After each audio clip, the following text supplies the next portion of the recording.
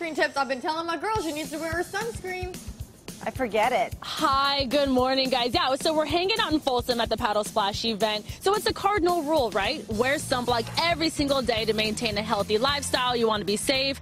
Um, you want to be cautious, of course. But what's happening is people don't realize there is, in fact, an expiration date. Look around. There's people are hanging out here at the water on um, here in Folsom, and they're getting ready for the event. So what I decided to do was walk around and chat with a few people. And I said, hey, open up your bag. Let me check that sunblock. And they said, okay. And I said, it may be maybe not. Sure enough, so many people had expired sunblocks in their bag. So here are just a few. This one in particular expired back in, actually this year, but March of 2018.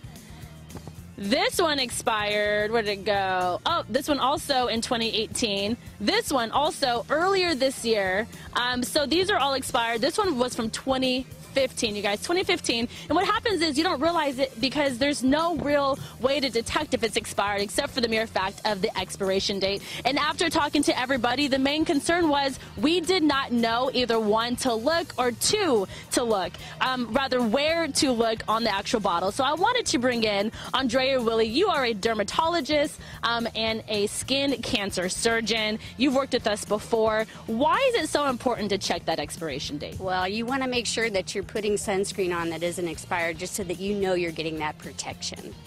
And then generally what happens um, when you're putting on expired sunblock, it's just really not doing the job. Is that right? That is correct. That is correct. So if you have a, a, chemical sunscreen, those types of sunscreens tend to absorb light and then break down. They won't be able to do that at all. They have a lot of stabilizers in them, and so they just are very unstable. If you have a sunscreen that is made out of zinc or titanium, they tend to be more stable, but they have things in them that make them more elegant, and those things do break down.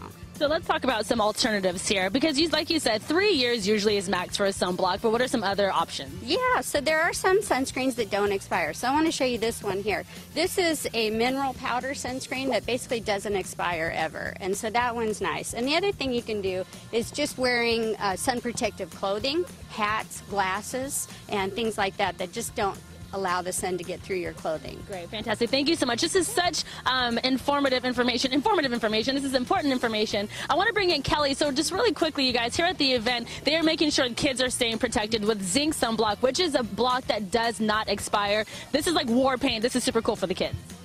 Yeah, so today um, it's, it's something really important for the kids to have fun also while learning about keeping safe from the sun.